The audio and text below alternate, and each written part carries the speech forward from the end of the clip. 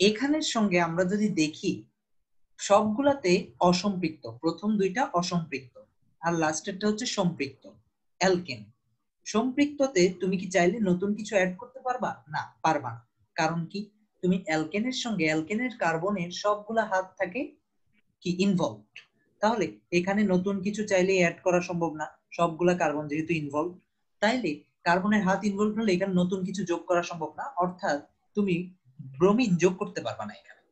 কিন্তু এটার ক্ষেত্রে বা প্রথম দুইটার ক্ষেত্রে আমরা যদি দেখি, একটা হ্যান্ডশেক যদি আমরা ভেঙে দেই, এখান থেকে একটা হাত বের হবে, এখান থেকে একটা হাত বের হবে, এখানেও যদি আমরা দুইটা হ্যান্ডশেক ভেঙে দিই, দুইটা দুইটা, চারটা হাত বের হবে, তাহলে এখানের ক্ষেত্রে দুইটা ব্রোমিন অ্যাড করা সম্ভব না bromine bromine B R two add করা সম্ভব। আর এখানের ক্ষেত্রে চারটা টু বিআর টু অর্থাৎ এখানে দুইটা বিআর অ্যাড করা সম্ভব, এখানে দুইটা ব্রোমিন অ্যাড করা সম্ভব এখন প্রশ্ন হলো, পৃথিবীতে এত জিনিস থাকতে আমরা কেন ব্রোমিন নিয়ে কথা বলতেছি? সাধারণত দেখা যায় ব্রোমিনের রংটা থাকে লাল, ব্রোমিনের রং থাকে লাল। তাহলে চিন্তা করো, তোমাকে আমি যে কোনো একটা অর্গানিক সাবস্টেন্স দিলাম, আমরা তোমাকে একটা টেস্ট টিউবের মধ্যে অর্গানিক সাবস্টেন্স দিলাম। তোমাকে আমি বলে দিলাম যে এটা অ্যালকেন, অ্যালকিন না অ্যালকাইন, বের করো। তোমাকে আমি বললাম কি, অ্যালকেন মানে এটা কি সম্পৃক্ত নাকি অসম্পৃক্ত? জাস্ট আমি তোমাকে প্রশ্ন করলাম, এটা কি সম্পৃক্ত নাকি অসম্পৃক্ত?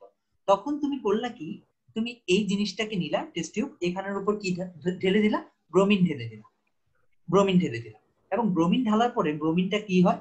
নর্মালি ব্রোমিনের কালার থাকে লাল। এখন তুমি চিন্তা করো ব্রোমিনটা যখন রিয়েক্ট করে ব্রোমিনটা যখন এই অসম্পৃক্ত কার্বনের সঙ্গে লেগে যায়, অর্থাৎ একটা কম্পাউন্ডের ভিতর ঢুকে যায়, এটা কিন্তু আর ব্রোমিন থাকে না। তাহলে এটা কি হয়ে যাচ্ছে? এটা এখানে ঢুকে অন্য কিছু একটা হয়ে যাচ্ছে কম্পাউন্ডের একটা অংশ হয়ে গেছে। এটা কিন্তু আর ব্রোমিন নাই। তখন কি হয়ে যায় কম্পাউন্ডের অংশ হলে এটা কালার লেস হয়ে যায়। তাহলে আমরা কি বলতে পারি? কালার লেস হলে কোন কোন ক্ষেত্রে কালার লেস হবে? এটার ক্ষেত্রে কালার লেস হতে পারে ট্রিপল বন্ডের ক্ষেত্রে কালার লেস হতে পারে ডাবল বন্ডের ক্ষেত্রে কালার লেস হতে পারে। কারণ কি? এগুলার ক্ষেত্রে ঢুকার উপায় আছে। কিন্তু আমরা যদি সিঙ্গেল বন্ড বা সম্পৃক্ত কার্বন স্যাচুরেটেড কার্বন যেটা ওখানে যদি ব্রোমিন অ্যাড করি ওখানে কি কোনোভাবে ব্রোমিন অ্যাড হবে? হবে না। ব্রোমিনটা ব্রোমিনই থেকে যাবে। তাই আমরা তাই আমরা বলতে পারি যে সিঙ্গেল বন্ডের ক্ষেত্রে ব্রোমিনটা রয়ে যাবে। ব্রোমিনটা এখানে রয়ে যাবে। তাহলে ব্রোমিন যদি কালার না হারায় তখন তুমি টেস্টটা বলতে পারো হ্যাঁ এটা হচ্ছে স্যাচুরেটেড কার্বন অসম্পৃক্ত কার্বনের প্রোডাক্ট আর যদি ব্রোমিনটা কালারলেস হয়ে যায় আমরা যদি চেক করে দেখি ব্রোমিনটা যে কালারটা ছিল ওটা যদি হারায় যায় যদি কালারলেস হয়ে যায়, তখন তুমি বলতে পারো অসম্পৃক্ত কার্বন আছে এখানে। অর্থাৎ হয় ডাবল বন্ড আছে অথবা ট্রিপল বন্ড আছে। তোমাকে ইন্ডিকেট একদম পার্টিকুলারলি ইন্ডিকেট করা লাগবে না। ডাবল বন্ড আছে নাকি ট্রিপল বন্ড আছে, ওটা আরও হায়ার ক্লাসের পড়া এজি বা কপার দিয়ে টেস্ট করা হয়। ওগুলো আপাতত পড়া লাগবে না। তোমাকে যে জিনিসটা মাথায় রাখা লাগবে ব্রোমিন টেস্টের মাধ্যমে তুমি কি করতেছো? অসম্পৃক্ততা টেস্ট করতেছো। ব্রোমিন যদি কালারলেস হয়ে যায়, তখন তুমি বলতেছো হ্যাঁ এটা অসম্পৃক্ত ছিল।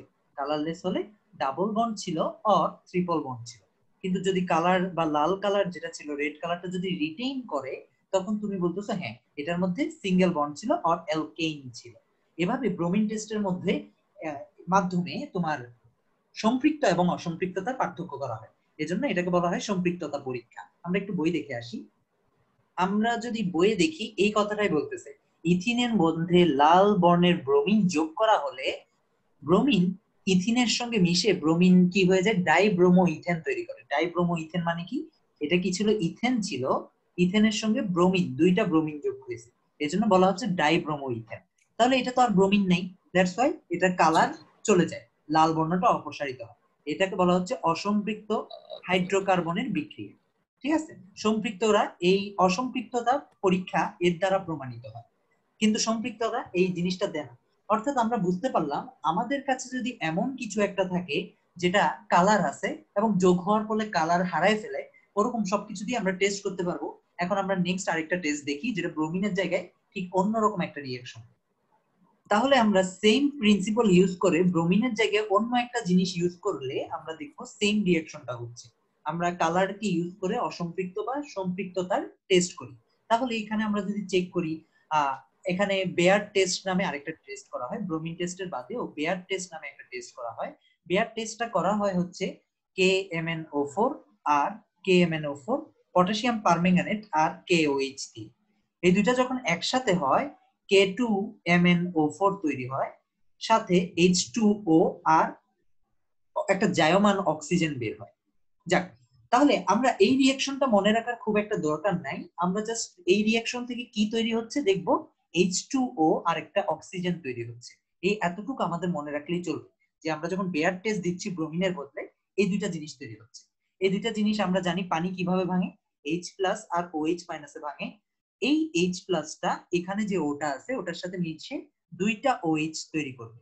আচ্ছা এবার আমরা চিন্তা করি, তো এই দুইটা ও এইচ আমরা যদি দেখি, এখানের মধ্যে যে ডাবল বন্ড আছে, এখানের মধ্যে যে ট্রিপল বন্ড আছে এখানের সঙ্গে অ্যাড হতে পারে এই ডাবল বন্ডটা ভেঙে ওএইচ অ্যাড হয়ে যেতে পারে ওএইচ অ্যাড হয়ে যেতে পারে, এই ডাবল বন্ডগুলা ভেঙে চারটা ওএইচ অ্যাড হতে পারে, চারটা ওএইচ অ্যাড হতে পারে, এই ডাবল বন্ড দুইটা ভেঙে।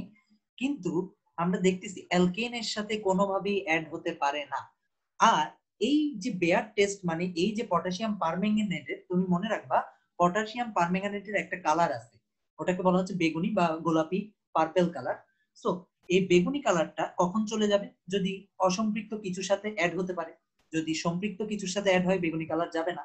তাই এভাবে অসম্পৃক্ততা টেস্ট করা যায়। দুইটাই আসলে সেম প্রিন্সিপালে কাজ করতেছে। অসম্পৃক্ত কার্বন থাকলে ওটা ভেঙে কিছু লাগা সম্ভব। অসম্পৃক্ত কার্বন না থাকলে লাগা সম্ভব এই প্রিন্সিপালে কাজ করতেছে। তাহলে আমরা যেটা বুঝলাম যে দুইটা অসম্পৃক্তটা টেস্ট করার জন্য আমার কাছে কি অসম্পৃক্ত কার্বন আছে কিনা ওটা টেস্ট করার জন্য আমার দুইটা টেস্ট আছে। একটা হচ্ছে ব্রোমিন টেস্ট আমরা ব্রোমিন এড করে টেস্ট করতে পারি। আরেকটা হচ্ছে আমরা যেটা দেখলাম বেয়ার টেস্ট অর পটাশিয়াম পারম্যাঙ্গানেটের মাধ্যমে যে টেস্টটা করা হয়, যেখানে এই দুইটা জিনিস বেগুনি কালার থাকে এবং পরবর্তীতে এই কালারটা চেঞ্জ হয়ে যায়। যাক, আমরা এবার তাহলে একটু বইয়ে দেখে আসি। তাহলে বইয়ে একটু শর্টকাটে করে দিচ্ছে কে এম এন ফোর থেকে কে ও এইচ ওখান থেকে কি বের হচ্ছে? এইচ টু ও আর ও বের হচ্ছে। এইচ টু ও কি আকারে ভাঙে? আমরা জানি ও এইচ আর এইচ আকারে ভাঙে। এই এইচ আর ও একত্র হয়ে ও এইচ ও এইচ তৈরি হয়। দ্যাটস ওয়াই এখানের মধ্যে একটা ও এইচ অ্যাড হয়ে যায়, হাতটা ভেঙে এখানে একটা ও এইচ অ্যাড হয়ে যায়। এটাই বলতেছে ও এইচ ও এইচ প্রথমে এটা ছিল ইথাইল গ্রুপ এখন ইথাইলের সঙ্গে ডাই অল মানে দুইটা অল যুক্ত হয়েছে। আমরা জানি অ্যালকোহল গ্রুপকে অল বলি আমরা। তাহলে দুইটা অল যুক্ত হয়েছে ডাই অলকে গ্লাই অলও বলা হয়। অর্থাৎ গ্লাই অল যে কথা ডাই অলও সেম কথা। ওকে আচ্ছা তারপর আমরা দেখি পলিমারকরণ বিক্রিয়া, ইথিনের পলিমারকরণ বিক্রিয়া। পলিমার মানে কি? আমরা একটু বোর্ডে যাই। আচ্ছা তাহলে পলিমার মানে কি? আমরা পলিমার মানে মনে রাখব মনোমার যুক্ত হয়ে, একটার পর একটা মনোমার যুক্ত হয়ে যে জিনিসটা তৈরি হয় ওটাকে বলা হয় পলিমার। এটার জন্য আমি একটা অ্যানালজি ইউজ করি। ধরি আমরা একটা মুক্তার মালা তৈরি করতেছি। তাহলে মালা সবগুলো মুক্তা দিয়ে তৈরি হয়। একটার পর একটা মুক্তা লাগে, একটার পর একটা মুক্তা লাগে। এবং লাস্টলি যে চেইনটা তৈরি হয়, সবগুলো কিন্তু এরকম একটা একটা ছোট জিনিসের রিপিটেড রিপিটিভনেস এর কারণে একটা চেইন তৈরি হচ্ছে। তাহলে এই ছোট জিনিসটা যেটা একটার পর একটা রিপিট হয়ে একটা বড় চেইন তৈরি করতেছে, ওটাকে বলা হয় মনোমার মনো মানে এক মনোমার এবং অসংখ্য মনোমার সেম জিনিস যখন একটার পর একটা জোড়া লাগছে, এটাকে বলা হয় পলিমার এখন আমরা পলি পলিমার আমরা দেখতেছি ইথিন ইথিন। ইথিনের পলিমার তাহলে কি হবে? পলিইথিন। অর্থাৎ পলিইথিন মানে কি? আমরা যে বাজারে পলিথিন দেখি, ওই পলিথিনটাই হচ্ছে পলিইথিন। অর্থাৎ আমরা পলিথিন ব্যাগ যেটা বলি, ওটা হচ্ছে ইথিনের পলিমার। তাহলে ইথিনের পলিমার মানে কি? ইথিন। একটা ইথিন আমরা দেখি, এটা হচ্ছে ইথিন। এখন ইথিন কি হবে? একটার পর একটা ইথিন জোড়া লেগে লেগে লেগে লেগে লেগে আলটিমেটলি পলিমার তৈরি করবে। তাহলে জোড়া লাগতে হলে ফার্স্ট কাজ এইটা কি নেট তাহলে আমরা যেটা দেখলাম ইথিনের ইথিন, পলিথিনের ক্ষেত্রে ইথিনটা মনোমার হিসেবে কাজ করতেছে। তাহলে আমরা জানি মনোমার থেকে পলিমার করতে হলে একটার পর একটা জোড়া লাগাতে হয়। জোড়া লাগাতে হলে আমাদের কি করা লাগবে? ইথিনের যে ডাবল বন্ডটা আছে এখানে, ডাবল বন্ডটা ভেঙে আমাদের দুই পাশে দুইটা হাত বের করতে হবে। কারণ আমরা জানি এই হ্যান্ডশেকটা যদি আমরা ভেঙে দেই, তাহলে আমরা জানি এখান থেকে দুইটা হাত বের হবে, এই কার্বন থেকে একটা হাত বের হবে, এই কার্বন থেকে একটা হাত বের হবে। তাহলে নেক্সট এ ইথিন যেটা, আরেকটা ইথিন এসে ঠিক সেম ভাবে হাত ভেঙে যুক্ত হয়ে যেতে পারবে না, আমরা ধরি আরেকটা ইথিন, এটা হচ্ছে আরেকটা ethyne double bond C H H H H এই ইথিনটা, যদি এই ইথিনটারও ডাবল বন্ডটা ভেঙে যায়, এই ইথিনটারও আমরা ডাবল বন্ড ভেঙে দেই, তাহলে আমরা দেখতেছি দুইটা হাত বের হবে, এবং দুইটা হাত বের হওয়ার মাধ্যমে কি? এরা একে অপরের সঙ্গে যুক্ত হয়ে গেল, দুইটা হাত। এবং এই হাতটা ফাঁকা থাকল। এখন আমরা দেখি আরেকটা ইথিন আচ্ছা। আসলো। সেম ভাবে আরেকটা ইথিন এসেও দুইটা হাত জোড়া লেগে গেল। দুইটা হাত জোড়া লেগে আরেকটা হাত ফাঁকা থাকল। এভাবে একটার পর একটা মনোমার অ্যাড হচ্ছে। আমরা চাইলে দুই সাইডে অ্যাড করতে পারি ঠিক তেমনি ওই সাইডেও আমরা অ্যাড করতে পারি। এখানে আরেকটা পলিথিন এসে অ্যাড হয়ে যেতে পারে। এভাবে আস্তে আস্তে একটার পর একটা মনোমার অ্যাড হওয়ার মাধ্যমে এটাকে কি বলা হচ্ছে? ইথিনটা হচ্ছে এখানে মনোমার। আর অনেকগুলো ইথিন যেহেতু যুক্ত হচ্ছে এটাকে কি বলা হবে? পলি ইথিন বা এটাকে কি বলা হবে? পলিথিন। আচ্ছা। এটা হচ্ছে ইথিনের পলিমার। তাহলে পলিমার করানোর জন্য আমরা কি ইউজ করতেছি? এখন এখানের মধ্যে একটা টেম্পারেচার এবং প্রেসার দিয়ে এই বন্ধনটাকে ভাঙতে হয়।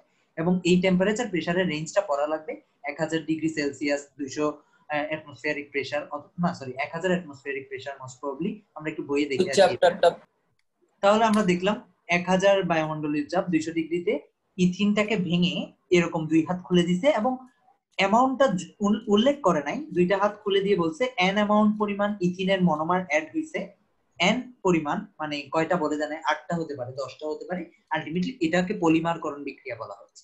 আচ্ছা অ্যালকাইনের প্রস্তুতি আমরা সেদিন দেখছিলাম, অ্যালকাইনের প্রস্তুতি। তাহলে আমরা আমরা জানি যে অসম্পৃক্ত কার্বনরা সবসময় সেম রিয়াকশন দিবে। অর্থাৎ আমরা দেখতেছি এখানে অ্যালকিন আছে ডাবল বন্ড আছে তাহলে এটার হাতটা যদি আমরা ভেঙে দেই এবং আমরা যদি এরপর পানি যোগ করি, পানি যোগ করলে কি হচ্ছে? পানি কি আকারে ভাঙে? পানি ভাঙে এইচ প্লাস আর ও এইচ মাইনাস আকারে।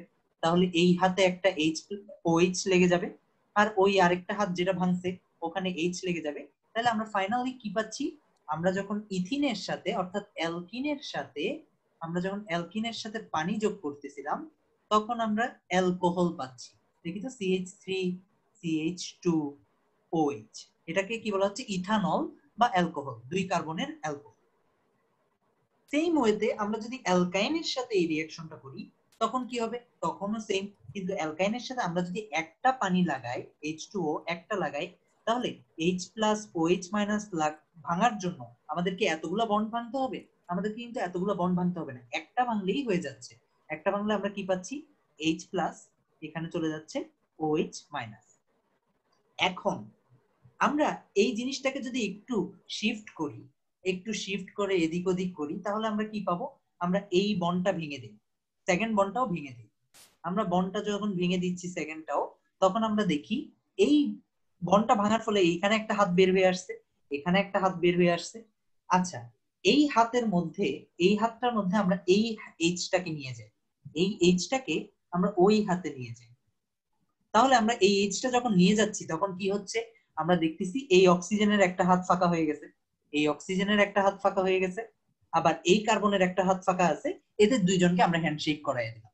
এদের দুইজনের মধ্যে বন্ডটা গঠন করাই দিলাম। তাহলে এদের দুইজনের মধ্যে একটা ডাবল বন্ড হয়ে যাবে না? আমরা যদি দেখি, এদের দুইজনের মধ্যে একটা ডাবল বন্ড হয়ে গেল। তাহলে ফাইনাল প্রোডাক্টটা এখন আমরা এত কিছু করার পরে ফাইনাল যে প্রোডাক্টটা পাইলাম, ওটা কীরকম? আমরা যদি দেখি ফাইনাল প্রোডাক্টটা aldehyde C H three C double bond O H অর্থাৎ প্রথমে প্রোডাক্টটা যেটা ছিল, ওটা একটু রিঅ্যারেঞ্জমেন্ট করছি। রিঅ্যারেঞ্জমেন্ট কীভাবে করছি, এটা একটু খেয়াল রাখা লাগবে। C H triple bond C H ছিল। এখান থেকে ডাবল বন্ড একটা ভেঙে এখানে একটা এইচ লাগছিল, এখানে একটা ওএইচ লাগছিল। এই ওএইচ এর মধ্যে এই এইচটা এখানে নিয়ে আসছি সিএইচ এই ডাবল বন্ডটা এখানে নিয়ে গেছি। শেষ। এইটাই অ্যালডিহাইড তাহলে আমরা বলতে পারি অ্যালকাইনের সঙ্গে অ্যালকাইনের সঙ্গে যখন পানি দিচ্ছি, তখন কি তৈরি হচ্ছে? অ্যালডিহাইড তৈরি হচ্ছে। বলতে পারি সিম্পল অ্যালডিহাইড তৈরি হচ্ছে। আর অ্যালকিনের সঙ্গে যখন পানি দিচ্ছি তখন অ্যালকোহল তৈরি হচ্ছে। আমরা একটু বই দেখে আসি এখন। তাহলে আমরা বইয়ে দেখলাম যে ইথিনের সঙ্গে থ্রি তাহলে আমরা দেখলাম ইথিনের সঙ্গে আমরা পানি দিলে এক হাতে এইচ লাগল আর এক হাতে ওএইচ লাগল। এই যে সিএইচ ইথানল হলো। অন্যদিকে আমরা যখন অ্যালকাইনের সঙ্গে অর্থাৎ ইথাইনের সাথে পানি দিই তখন কি হচ্ছে? এখানের মধ্যে তাহলে আমরা দেখতেছিলাম যে ইথাইনের সঙ্গে যখন পানি যুক্ত হচ্ছে এক আমরা দেখতেছিলাম এখানে সরাসরি দেখাইছে এটা আসলে পানি যুক্ত হলে আমরা জানি সিএইচ টু হবে। এখানে একটা ডাবল বন্ড ভাঙছে আর কি হবে? সিএইচওএইচ এখন আমরা যদি এটাকে একটু সাজায় লিখি আমরা দেখি কি? C H H C H two double bond এখানে কি পাচ্ছি আমরা? সিএইচ ওএইচ এখন এটা একটু করে রিঅ্যারেঞ্জমেন্ট হয়। রিঅ্যারেঞ্জমেন্ট কীভাবে হয় আমরা জানি?